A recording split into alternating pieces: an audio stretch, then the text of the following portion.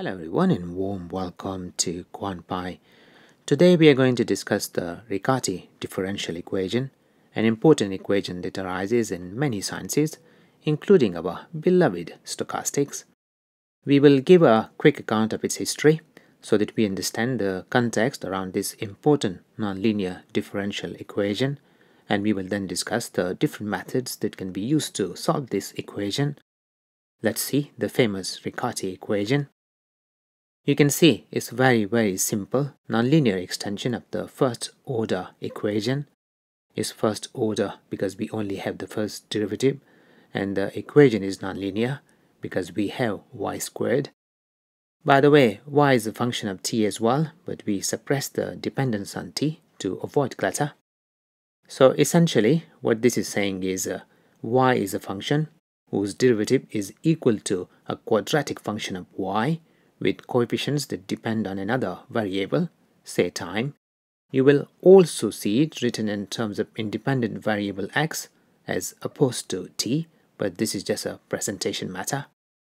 Now that you have seen the equation, it won't come as a big surprise if I were to say that this equation was studied and solved in the very early days of differential equations. This is the times of Newton, the real apple guy, Euler, the guy who invented exponential and pi and the Bernoulli family. These early mathematicians, or shall I say scientists or scholars, used to have their own stack exchange, though they didn't have a website, so they were executing the same idea using letters and meetings. And they didn't have video games in blockchain, so they used to play anagrams. Like when Newton realized that the differential equations is the language of nature, he had to post this in the form of an anagram. Apparently, you can construct a Latin sentence out of these letters, and which, when translated into English, essentially means Newton wanted to say that differential equations are useful, though the exact wording differs depending on who you listen to. The reason we have to mention this is because our history of Riccati also involves these exchanges and anagrams. The equation carries the Riccati name only because he was obsessed with this equation. He was communicating about this equation with all members of the Bernoulli family and anyone else who would engage. So naturally then people started calling it Riccati equation. It should have been called hashtag Riccati, but they didn't know the meaning of this symbol back then. This Riccati was an Italian scholar who was born rich and didn't have to work. He had to do things that rich people do though, like running his estate and helping the administration. But he refused offers to teach at prestigious universities. He was self-taught in maths. He had studied law, but then someone gave him a copy of Newton's book, and then Riccati is engaging the whole world. This kind of attitude of studying multiple subjects wasn't uncommon back then, by the way. And the journals also used to take all-in kind of approach. So one issue will contain all sorts of things, poems, maths, you name it, it has it. So how did he come up with this equation?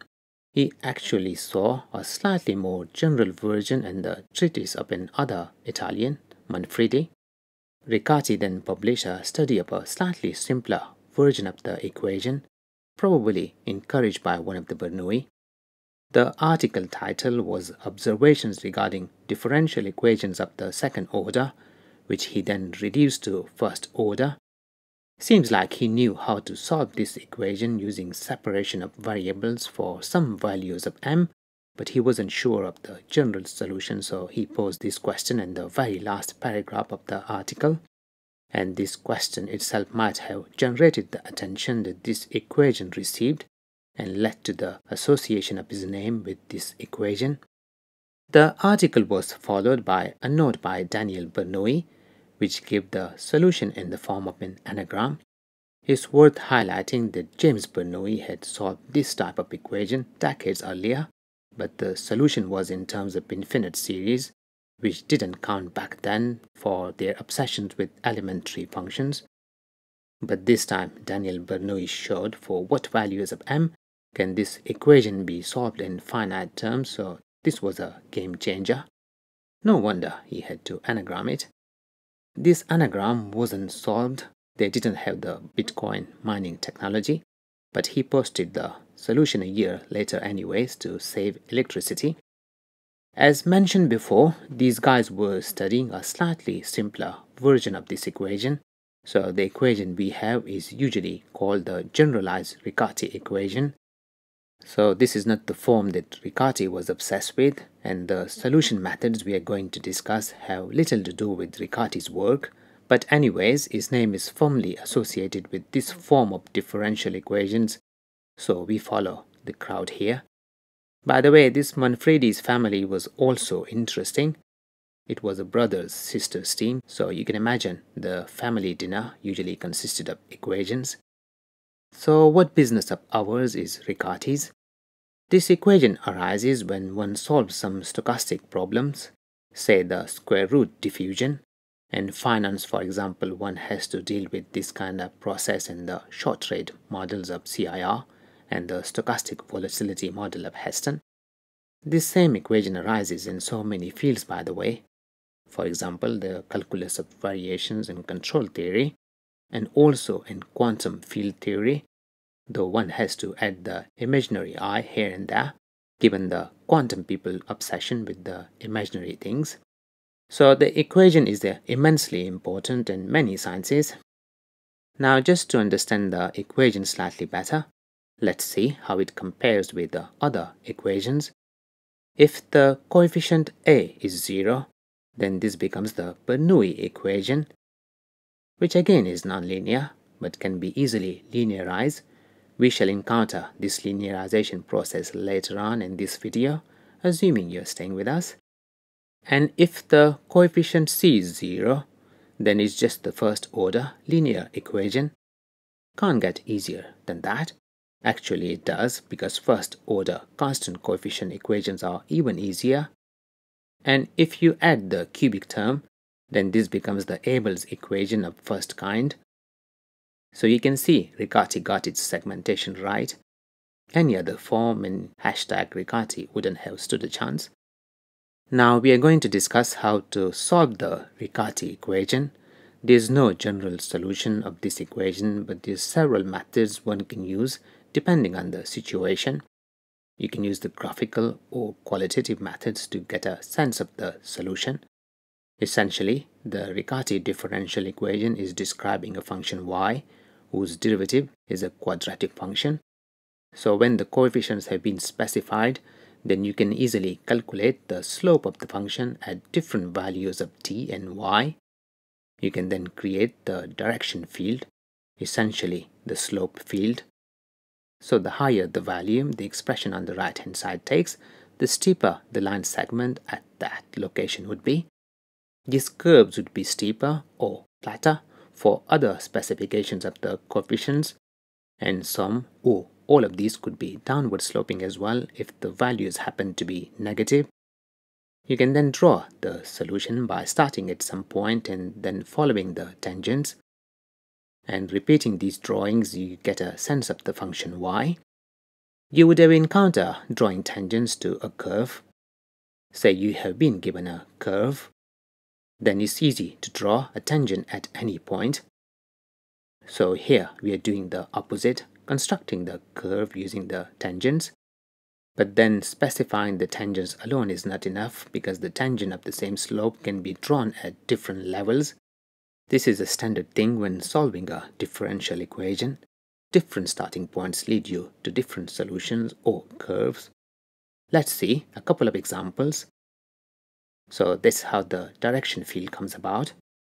There are a few subtleties around how to draw the direction fields, but nothing you can't discover if you try a couple of examples. Leaving the qualitative approaches aside, one can transform this equation into the linear second order differential equation and you know the solution methods for such equations are well studied so this transformation will bring the Riccati equation into the familiar territory. And conversely then, one can also transform a second order equation into the Riccati equation. This is how the story started by the way. Another situation is if one or more particular solutions of the Riccati equations are known. then one can express the solution in terms of integrals. The more particular solution one knows, the fewer the number of integrals one has to evaluate. So if you know one solution, then the general solution will involve two integrals. If you know two solutions, then the general solution will involve one integral. And if you know three solutions, then you will be dealing with just ratios equal to a constant. You might ask, how would I know a particular solution? Well, you can guess the solution in some cases or use trial and error to find a solution. And the harder you work, the easier the solution would be. Hard work in the Riccati world pays. There are also a number of special solution methods. For example, one can transform the equation into reduced form and in some cases one can transform the equation into separable form which is then easy to solve. You can find these methods in any handbook of differential equations, but we will quickly outline a couple of examples so that you know how these fit into the wider scheme of things. Another special form this frequently encountered, as you would expect, is when the coefficients are polynomial. Again, you can find several such methods in any handbook. By the way, you can also transform the Riccati equation into the Bessel equation. Remember Bessel functions so you can see how the Bessel equations arise in the discussion of square root diffusion processes. Let's start with the transformation of the equation into the linear second order equation. First consider this magic transformation of the dependent variable. It's easy to remember and appreciate when written in terms of derivative of log of u. Essentially, we are trying to get rid of the nonlinear term, this y squared on the right hand side, and the price we pay is we get the second order derivative. So first order nonlinear equation becomes second order but linear. As we shall see, when we take the derivative of this term, we get a term that represents a square. So the square terms and the Riccati equation vanish and we land in the linear world. Let's see the details. Let's calculate the derivative of the transformation where we just applied the product rule to product of three terms. First apply the product rule to uv times w and then apply the product rule to u times v. So you get the product rule of three terms. In our equation 1 divided by c, 1 divided by u and du by dt are the three terms. Now we can apply the chain rule to the derivative of 1 divided by c and the derivative of 1 divided by u. Essentially, derivative of 1 divided by u is equal to minus 1 divided by u square. Now we can combine the du by dt factors in the last term. Now let's bring down the Riccati equation momentarily so that we can substitute the expression for y and the derivative of y in terms of u, the new dependent variable. So the square terms cancel as expected and the equation simplifies. We can multiply by cu to get. We can shift terms to the left hand side and combine the du by dt terms. So the equation has been transformed from first order nonlinear to second order linear equation. And now depending on the values of a, b and c, one can solve this equation and using the inverse of this transformation function, one can go from this linear equation to the Riccati equation. To invert the function, first separate the variables. Remember, c and y are functions of t, so we have function of t on the left hand side and u on the right hand side. Now du by u is just d of log of u. Now if we integrate and exponentiate, we get u in terms of y if you use this transformation, you will get the Riccati equation. So this close link between the Riccati equation and the second order linear equations, one can transform them into each other. Now we have some idea of how this transformation was conceived. And you know these guys used to try a lot of things and post the methods and questions to each other. So it won't have taken them long to discover the right transformation function. From modern, or shall we say more advanced perspective, this transformation is relatively easy to find. Let's first abbreviate the coefficients. Now remember the similarity methods or group theory approach we were discussing when solving the diffusion equation is a more systematic method for solving the differential equations and can be viewed as a generalization of the methods that are very familiar to us. The techniques are advanced, but that doesn't mean we can't cover the key points informally. It's quite an intuitive process, so we should be able to explain how it works. Firstly, it's very easy to see that this linear equation is invariant under the following transformations. So we define a new variable x as equal to t and z as lambda times u. This is one of the elementary transformations. Did we call it magnification? So it is like a microscope that magnifies one dimension. You can write this in terms of exponential, where epsilon is assumed to be very small, so we are talking infinitesimals now. Infinitesimal essentially means infinitely small, which is easy to see when we write this transformation in terms of the infinitesimal generator. The easiest way is as follows. Consider a function phi of x and z, and we can write it in terms of the original variables t and u. Remember, e to the power x is equal to 1 plus x when x is small. Let's get rid of the brackets and the second argument now expand using Taylor series up to first order. Remember, epsilon is supposed to be infinitesimal. Now collect the function phi on the left hand side. So this is now describing the infinitesimal impact of the assumed transformation. And if you apply this transformation repeatedly, then you get the finite form of the transformation that we started with. And hence we have the infinitesimal generator, which is nonlinear, we know how to linearize this form. Well, log of u does the job, no rocket science. This is essentially the chain rule via the intermediate variable log of u. Derivative of log of u gives 1 divided by u. And if we shift the u to the left hand side, we see our generator on the left hand side. And if you now replace log of u by w, we get a linear generator and if you know the straightening out lemma, then you can do without this chain rule business. So there are multiple ways to get the same result.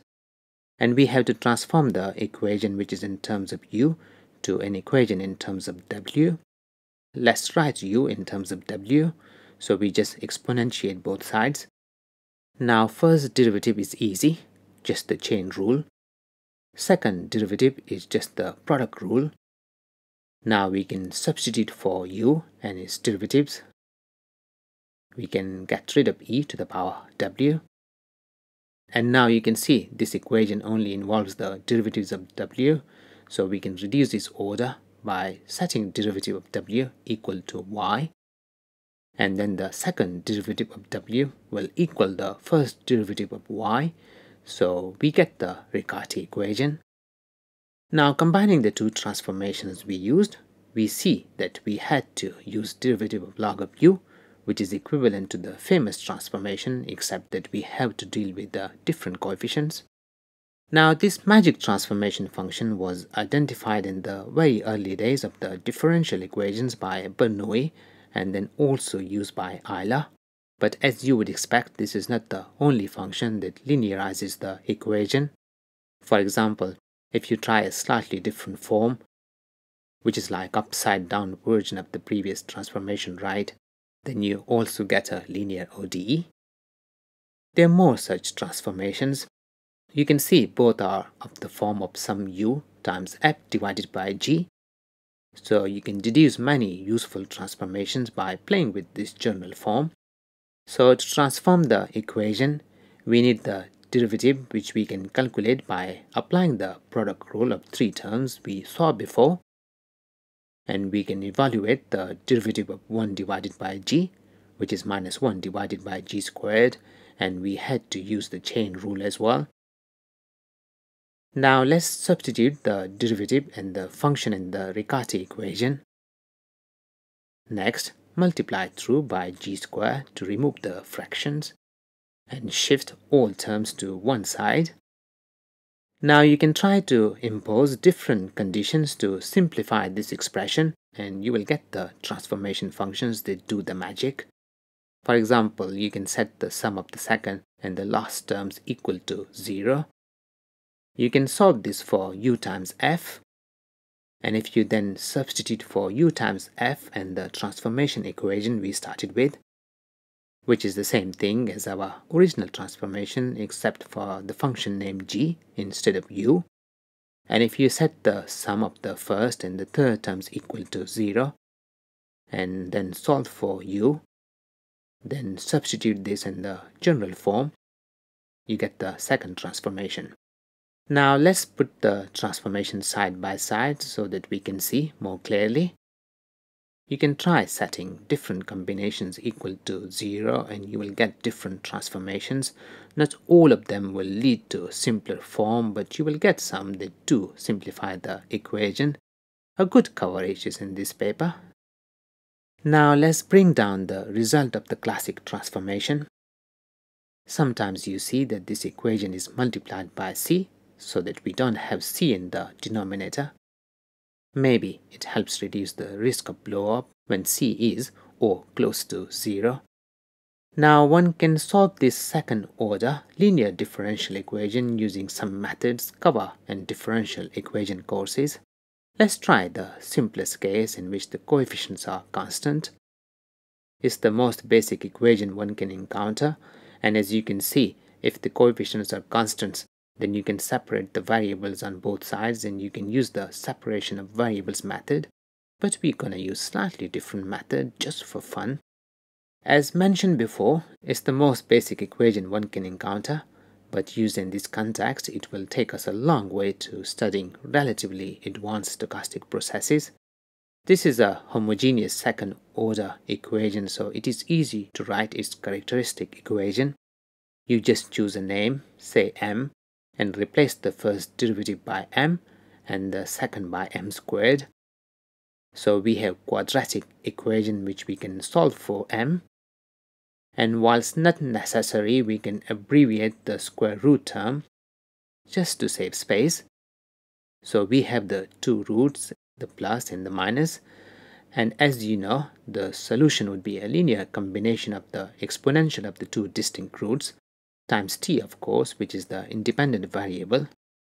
When the roots of these equations are not distinct then one writes the solution slightly differently but we have distinct roots so we don't have to worry about those things. By the way, even if you forget this method, you can deduce this approach by assuming an exponential form of the solution and you will then be left with the quadratic equation because the exponential term will appear in all terms so it vanishes. So we have the solution of u, but we are after y. Not a big deal because y is just derivative of u divided by u times minus 1 divided by c, which is a constant. So we just need to calculate the derivative, which is quite easy because derivative of exponential is its amazing self, and we have to remember the chain rule. Let's factor out 1 divided by 2 Let's bring down the y so that we can make the substitutions. Let's substitute what we have already derived. Now we have the solution which we can simplify. The b divided by 2 appear in all terms upstairs and downstairs so it vanishes.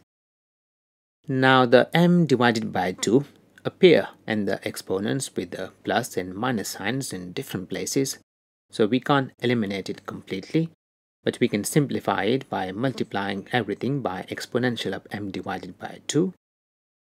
Now the problem is we have two constants c1 and c2, but the differential equation at the top is first order, so we expect only one constant, but worry not because we can divide everything by c2, then c1 divided by c2 is a constant and we can call it c3, and we are out of the trouble zone. This constant is arbitrary, so we have the general solution. And if you have initial condition, say y naught equals 0, then you can fix this constant. Evaluate the solution at t equals 0. You can get rid of the terms in the denominator and then solve for C3. So we have determined the constants given the initial condition. We can substitute for C3 where we cancel the b plus m in the numerator. We can factor out b minus m in the numerator and then multiply both the numerator and denominator by b plus m. So we have the solution but we can simplify it even further. We know m squared, right? So b squared minus m squared is just equal to 4 times ac. Now the two c's can't wait to eliminate each other. We can play with the denominator a bit more. Just add and subtract m minus b. And then factor out the m minus b in the first terms. And substitute this into the main expression and we declare success. Now this was constant coefficients. Other coefficients would require slightly different approach, but we know the drill now. Now that we understand the nitty-gritty of the connection between the Riccati and the second order linear differential equation, how to transform them into each other and how to solve the Riccati equation through its transformed linear version, let's move to easier methods. First, assume we know a particular solution. You're going to be asking again, how would I know a particular solution? If you stare at a given Riccati equation long enough, you would be able to speculate the functional form of a solution which you can then perfect through trial and error or you might know the solution through some other sources like books or friends in high places. I know it's not easy but the rewards are great because if you know a particular solution of the Riccati then determining the general solution is quite easy. Let's see because seeing is believing. Assume we know particular solution y1. Now consider this change of variable. So we set y equal to y1, the particular solution plus another variable z. Let's remove the dependence on t to save space. Let's substitute this for y. We can expand the square term. We can get rid of the brackets and rearrange the terms. Since y1 is assumed to be a solution of the Riccati equation, the first three terms must equal the derivative of y1. So these terms vanish and we can combine the terms containing z. Now this is the Bernoulli equation which is very easy to solve. Divide through by z squared. Now set 1 divided by z equal to u and then the derivative of u is easy to calculate, power and chain rules. By the way, this transformation we use is a general method for solving this kind of equation. It relies on the mere observation that the derivative of z to the power minus n gives z to the power minus n minus 1 times derivative of z. So you can use this relationship to deduce the form of the transformation that we used we can substitute u and the derivative of u and shift all terms to one side. So we can write the transitory z in terms of u and you can solve this equation for u by shifting y1 to the left hand side and then inverting the ratio on each side. Now the coefficient of u, the terms inside the brackets is just a function of t, so we can represent it by f to simplify the expression. And you can see the rewards now. We now have a first order differential equation. Remember, previously when we didn't have a particular solution, we only managed to get a second order equation. And we know this equation can be easily solved by the integrating factor method. The integrating factor is just the exponential of the integral of the coefficients of u we ignore the constants in the integrating factor by the way. Notice we left the lower limit indefinite, but it would mostly be zero in the cases we will encounter when dealing with stochastic processes. Now we multiply both sides of the equation by the integrating factor.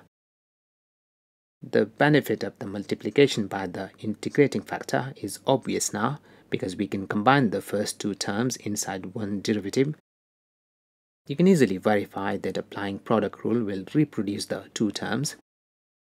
And if we now integrate, Then the derivative and integral in the first term cancel.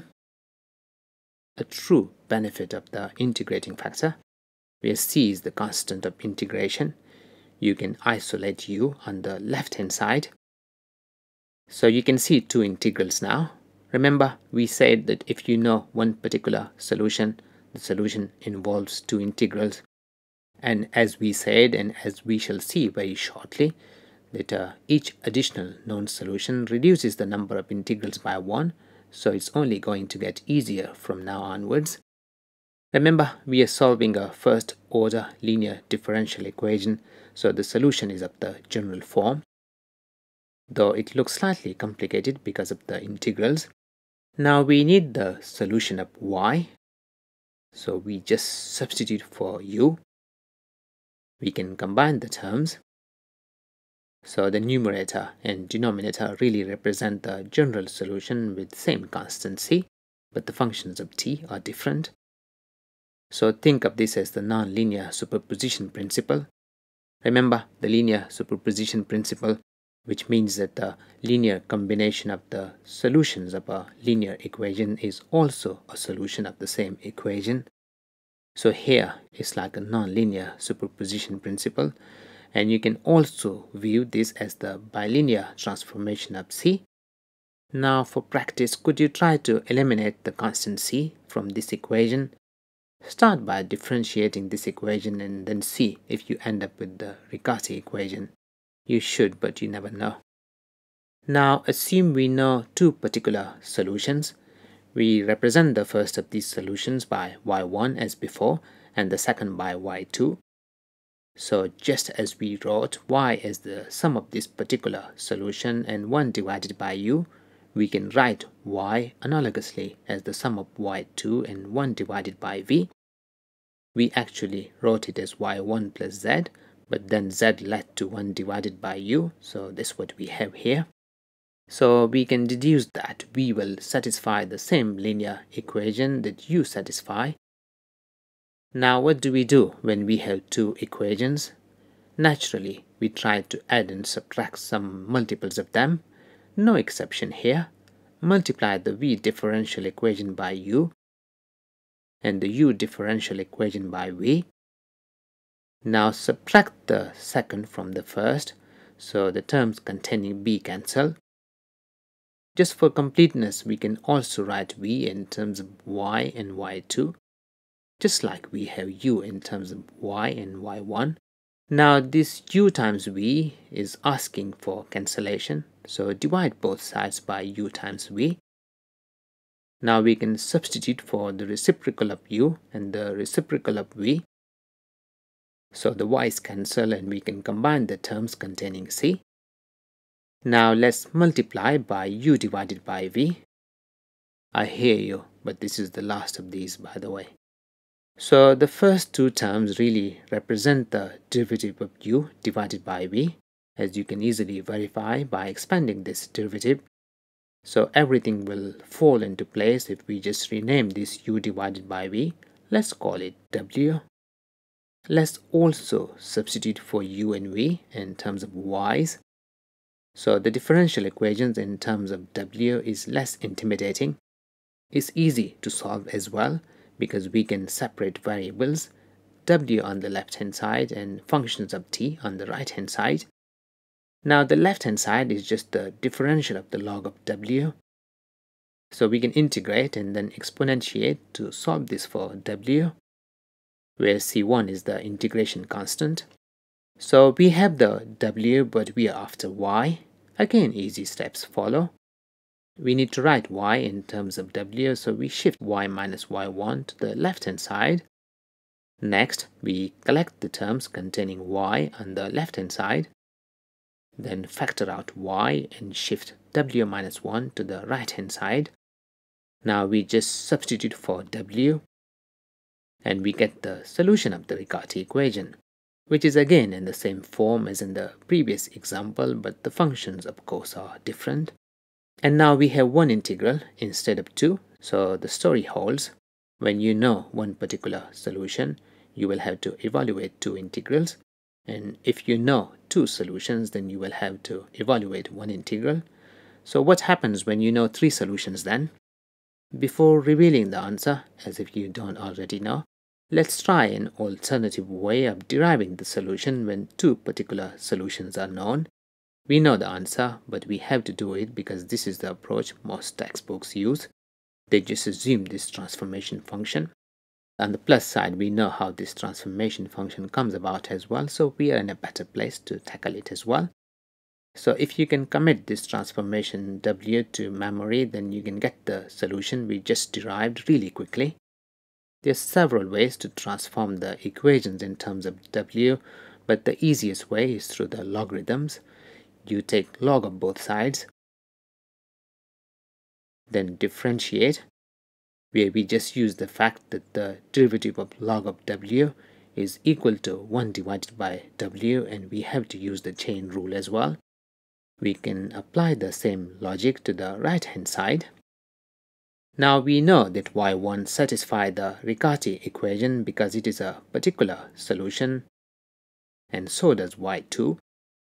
Now it's easy matter to calculate the difference of the derivatives of y and y2. The a's cancel by the way because they appear in both equations of y and y2. Dividing this expression by y minus y2 gives us the first term and we will get similar expression for the second term. Now the b's and y's cancel and we get the separable equation that we encountered before so the rest of the story is the same and we can skip the next steps. Now we can move to the situation where we know three solutions. As you would have anticipated, getting the solution is gonna get a lot easier.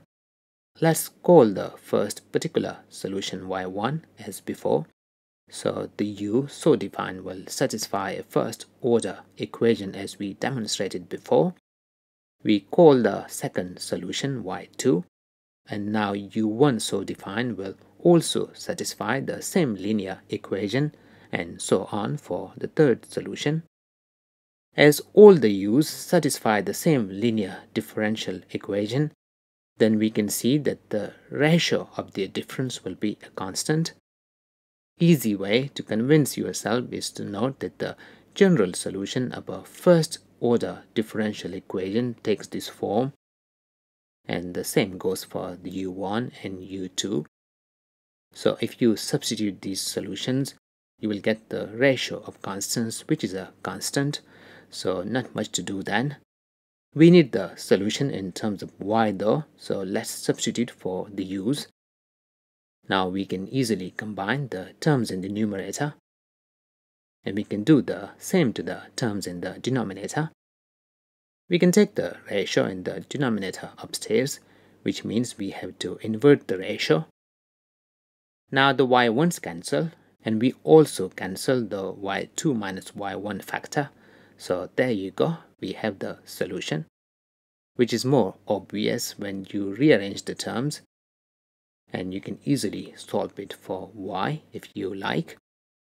Now for a final example of the particular solutions method, assume we know four solutions, then we can easily see that the cross ratio will be a constant as we saw in the three solutions case. So this is just like a rearrangement of the previous ratio with y4 replacing y for obvious reasons. Let's verify that this is indeed the case. We know a solution of the Riccati equation takes this form and we need the difference of the various solutions like y1 minus y2 etc. So let's calculate this difference for two generic solutions i and j. Now we can combine the two ratios and then get rid of the brackets in the numerator, hoping for lucky cancellations, where we also abbreviated the terms in the denominator because they only differ in C's. Now the F2, F4 terms cancel, and the terms containing F1, F3 cancel. Now we can combine the respective F terms and then factor out Ci minus Cj now the thing is we have two such terms in the numerator and two such terms in the denominator.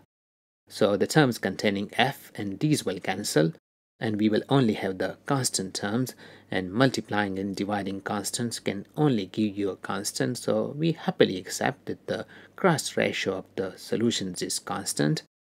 And notice that this is the same constant for all values of the independent variable. So the easiest solution one can get. Now let's move to some special cases there are a lot of them because this Riccati equation has attracted a lot of attention over the years but we are only going to cover a sample with a view to provide context around the many methods that you can find in any textbook. Let's start with the transformation into reduced form. This magic transformation converts the Riccati equation into reduced form.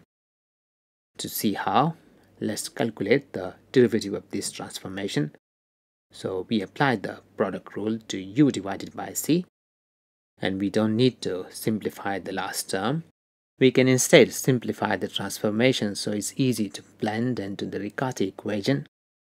So we can substitute the derivative into the Riccati equation and then substitute for y on the right hand side. We can expand the square term.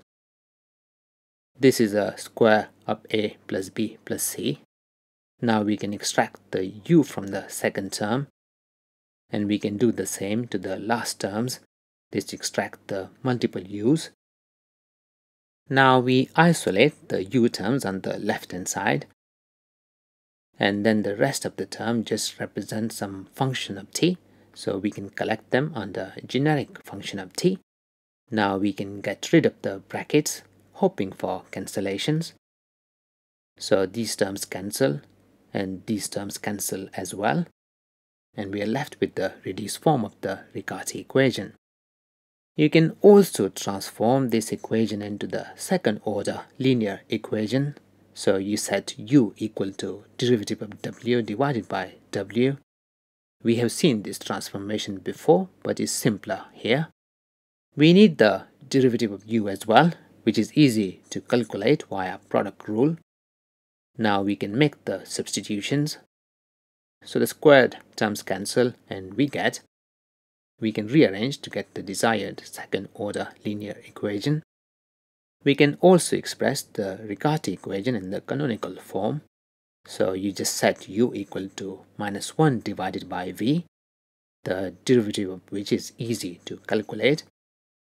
We can substitute these into the reduced form of the Riccati equation and then multiply it through by v squared to get the equation in the canonical form, which we can also write in the more familiar form. Now let's discuss a couple of examples of the situations in which the Riccati equation can be written in separable form. These are due to Rao and Ukidave. These are special cases and hence the method won't apply generally but if the equation happens to be one of the form assumed in these cases, then you can easily solve the equation using the separation of variables method, which is one of the easiest methods for solving the differential equations. By the way, in these transformations, we're going to be taking derivatives in square roots, etc. So we are assuming that these operations are legit, okay? For the first method, define the transformation by setting y equal to u times v which are both functions of the independent variable t. Derivative is easy to calculate. We just use the product rule. Now we substitute these into the Riccati equation. We shift the dv term to the right hand side and combine it with the middle term. Now under this transformation, the separation of variables will work if this term in the brackets happen to be equal to a constant time a which is the first coefficient in the Riccati equation, and the c times b squared in the last term when multiplied by a constant is equal to the same a. You can see these are very specific requirements that would be satisfied in only certain cases, but if these are satisfied then the solution is easy as mentioned before. Let's see. Let's make these substitutions into the main expression. The first substitution is straightforward, but we will need to rearrange the second slightly so that it fits the form. Now we can make the substitutions. Let's shift v to the right hand side. Now we need to get rid of v, which we can do by rearranging the second condition to get v in terms of the other variables. We can replace 1 divided by v. We can combine the a's and you can see we can shift the terms inside the brackets to the left hand side and we will have functions of u on one side and functions of t on the other side so the equation is separable as claimed. Now for another variant Let's try a slightly different transformation.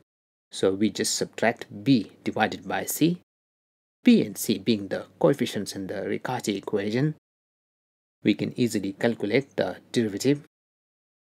We can substitute the derivative and the function in the Riccati equation. Now we get rid of the brackets and the second term and expand the square and the third term. We naturally then get rid of the brackets and the last term now the b square by c terms cancel and we combine the terms containing b times uv. Now we shift the terms other than du by dt to the right hand side and we then combine the terms containing u. Now we are ready to outline the conditions required for separations of variables method. Let's represent the sum of the first two terms by h h being a function of t. Now if we can write the next term in the bracket as some constant times h and the c times v squared times constant as equal to h then we are game. To see how let's make the substitutions. Next we shift v to the right hand side and factor out h divided by c2 we need to get rid of v as before, so we rearrange the last condition to get v in terms of the other variables and then substitute into the main expression. And you can see the variables are separable. These are just two examples out of many possibilities. I think it would be good if you get some practice, so could you try to show that this transformation proposed by Allen and Stein also leads to a separable form when you calculate the derivative and then make the substitutions into the Riccati equation, do you get this expression?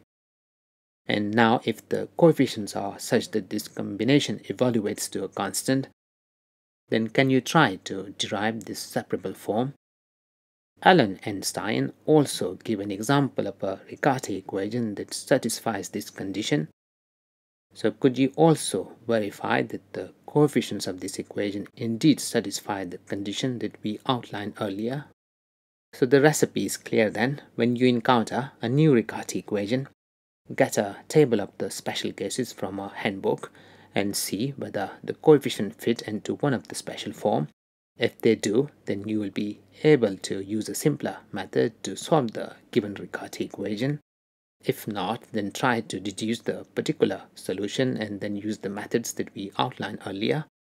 And if you can't figure out a particular solution, then you can transform the equation into the second order linear equation using the method that we outlined earlier and then solve the linear equation.